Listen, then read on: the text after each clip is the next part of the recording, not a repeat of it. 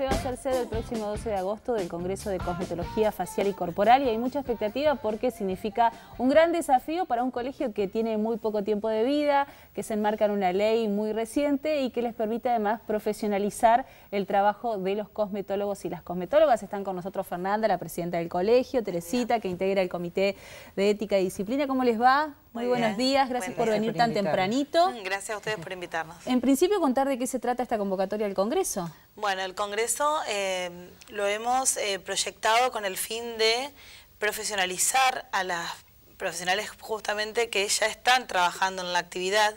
Lo hemos hecho de una apertura regional para convocar a las provincias vecinas a que vengan a poder formarse y acceder a cierta información que por ahí es muy complicado cuando somos del interior del país. En nuestro congreso hay convocados eh, personas de mucha trayectoria, profesionales de distintas áreas, del área de la medicina, del área de la estética, del área de la cosmetología, del área de informática, o sea que es un proyecto muy ambicioso este congreso y que la función principal es llevar formación a los profesionales. Un gran desafío, supongo, Teresita, ¿no? Es un desafío que lo hemos tomado en equipo para potenciar lo que consideramos es relevante en este momento. Eh, a partir de la sanción de la ley en la provincia de Santa Fe en el 2015, eh, eh, hemos logrado constituir este colegio con la finalidad fundamental de formar profesionales. Es decir, actualmente la carrera de técnico universitario en cosmetología, cosmiatría, con algunas variantes en provincia, que abarca también la parte de nutrición, se ha eh, elevado en su formación, pero hay muchos profesionales que vienen del sector de lo que era antes los cursos de formación. Es decir, no tenían el perfil necesario en cuanto a la capacitación para ejercer la profesión.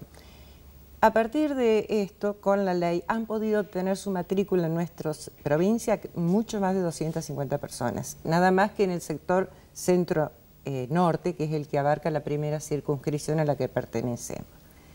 Hay otro aspecto importante a tener en cuenta es que esta carrera tiene una vinculación directa con el ámbito de la medicina y otras áreas como la kinesiología y demás. ¿Por qué destaco esto? Todas las carreras universitarias están dentro de las facultades de medicina de las distintas provincias que las tiene, que son muy poquitas. Santa Fe, tiene dos facultades, en Buenos Aires hay algunas más, el resto de la provincia carece de esa capacitación y de esa formación. Además Santa Fe hizo historia, ¿no? Porque es la primera provincia que tiene la ley. Exacto, la primera provincia de todo el país que tiene una ley con el colegio formado y en funcionamiento. O sea que eh, tenemos todo el país en este momento mirando nuestra ley, observando cómo estamos funcionando, viendo cuáles son nuestras fallas. De hecho, hay reuniones ya en Buenos Aires para poder tratar y ver cómo implementar esto a nivel federal.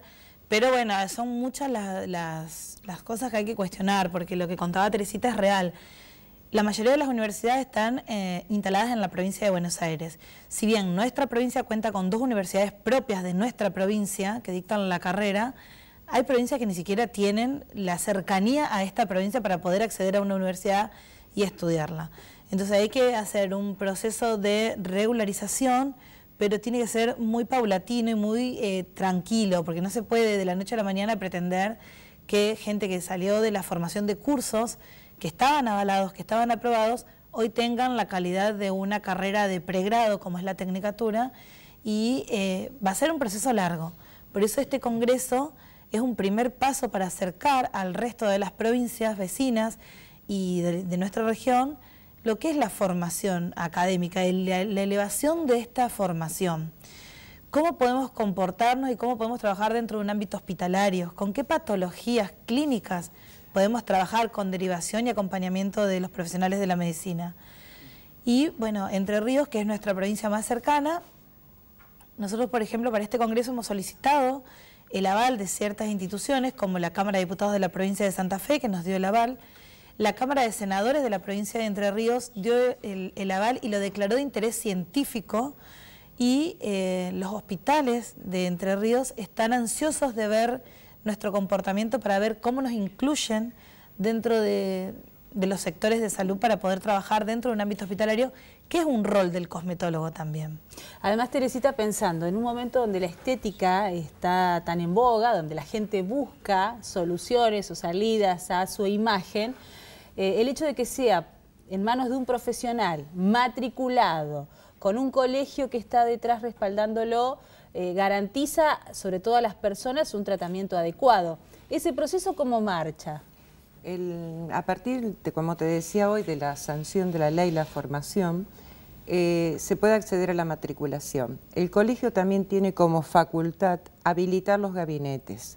Es decir, toda persona que concurra a un gabinete debe ver dos cosas. Primero, que el profesional que lo atiende esté matriculado. Y segundo, que el local, en el caso de la primera circunscripción, esté habilitado. Tienen logos identificatorios que le permiten la matrícula debe ser exigida. ¿Por qué esto es importante? Porque está en riesgo la salud. Y la salud es algo con lo que no se puede jugar. Es decir, tenemos que combatir, desgraciadamente, el ejercicio ilegal de personas que por ahí eh, se atribuyen tratamientos que no están capacitados para hacerlo, porque muchos de ellos son de riesgo. Entonces, ese también es uno de los fines de nuestro colegio. Y en este congreso, precisamente, hay temas como la bioseguridad, fundamental para ver cómo manejarnos, es decir, qué, pautas tenemos que tener en cuenta. Todo esto es fundamental. Eh, la cosmetología no es solamente aplicar una crema, hacer un tratamiento, aplicar electrodos, es mucho más allá, porque es un ejercicio que se trabaja interdisciplinariamente. Es un abordaje que tiene una mirada, eh, es un agente primario de salud el cosmetólogo. Así debe ser entendido. ¿Y, quiénes pueden participar del Congreso? El Congreso está abierto a todos los profesionales del ámbito de la salud, están vinculados en la cosmetología mejor, y a los cosmetólogos que no estén matriculados también los estamos convocando porque es una forma de que ellos se acerquen, puedan recibir la información que necesitan y entender por qué esta ley está en la provincia. Y por qué hoy Santa Fe es el punto de visión de todo un país para ver cómo llevan adelante esto. Es algo que se va a hacer federal. Ya no hay algo que diga esto va a ser por este camino y esto por otro camino. Todo va para el mismo camino. Como te contaba Teresita, nosotros que tenemos el control de policía, el Colegio de Cosmetólogos, lamentablemente en la provincia de Santa Fe, ya tenemos 11 casos en el Ministerio Público de la Acusación. Eso significa que hay 11 denuncias por ejercicio ilegal de la profesión. Eso significa que hay 11 personas que a pesar de haber eh, cumplido el colegio todas las etapas de acercamiento, de notificación, de cartas documento, no quisieron hacer, escuchar lo que les estábamos diciendo, quisieron seguir adelante y cometieron un delito. Por lo tanto, hoy van a tener esas 11 personas causas penales. Es lamentable y es muy triste para nosotros tener que llegar hasta esa medida, pero bueno, nosotros, nosotros tenemos una ley que tenemos que cumplir y el gobierno nos exige que esa ley se haga cumplir y somos nosotros el órgano ejecutor para que esa ley se cumpla. Y además supongo que llevó un largo proceso, ¿no? Conseguirla. Por supuesto. Además, eh, hay que destacar algo. Todas las profesionales que no eran universitarias se les dio la posibilidad de rendir un examen de reválida y una nivelación, las dos oportunidades distintas. Eh, es decir, oportunidades para ponerse en regla, para ponerse en vía legal, existieron. El que no las tomó desgraciadamente, no entendió que esto es una profesión y que debe ejercerse con mucha responsabilidad, con un perfeccionamiento permanente, porque la ciencia y la tecnología, si no, nos dejan de lado. Eh, eso primariamente eh, se ha hecho. El colegio viene haciendo un trabajo bastante arduo, bastante tedioso, pero también que va a rendir frutos a futuro. Eso es lo importante. Y esperamos en este Congreso poder, como dijo hoy Fernanda, que muchas más provincias se sumen, porque la verdad que nosotros estamos muy entusiasmados en lo que hacemos. Por eso lo hacemos. Claro, y además muchos más profesionales, porque a partir de ahora puede abrir la puerta para que aquellas que no estaban en regla o que no conocían estos mecanismos puedan regularizar su situación. ¿Cómo va a ser la mecánica ese día? La mecánica del Congreso, nosotros todavía seguimos haciendo inscripciones, las hacemos online. Nuestra página cocofic.org tiene toda la información, es la forma más rápida de acceder. Estamos en todos los medios de comunicación digital, salimos por todos lados. Estamos haciendo nota en todos los medios eh, que nos, dan la posibilidad de, asistir. Eh, ese día vamos a hacer la apertura a las 8.30. Ese día va a empezar el Congreso con la charla que nosotros consideramos primaria, la bioseguridad. Va a haber todo un desarrollo de distintas temáticas, entre ellas está oncología, eh, la cosmetología en pacientes oncológicos, va a haber también la cosmetología en pacientes pediátricos quirúrgicos, va a haber una serie de, también temas más eh, atractivos para ir más populares, va a haber maquillaje correctivo para pacientes con patologías faciales, va a haber un montón de temas. Terminado el congreso, se va a hacer por primera vez el juramento de las matriculadas, que no hemos tenido una oportunidad hace tres años que estamos, y en esta oportunidad convocamos a todas las que son matriculadas para poder jurar en forma masiva por nuestra ley y por nuestra matrícula. Así que también eso va a ser muy novedoso. Tenemos muchos asistentes de provincias vecinas, de Chaco, de Corrientes, de Entre Ríos, de Córdoba, de Buenos Aires. O sea que hay mucha gente que está entusiasmada y van a venir al Congreso.